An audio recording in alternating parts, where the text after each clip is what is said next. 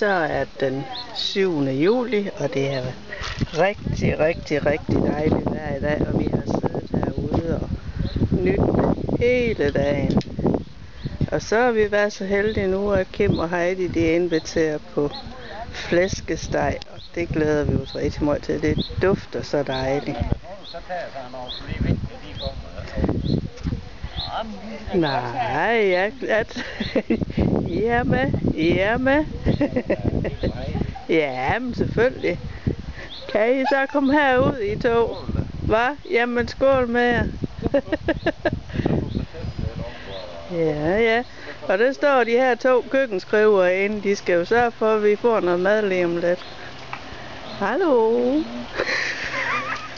Hej hej.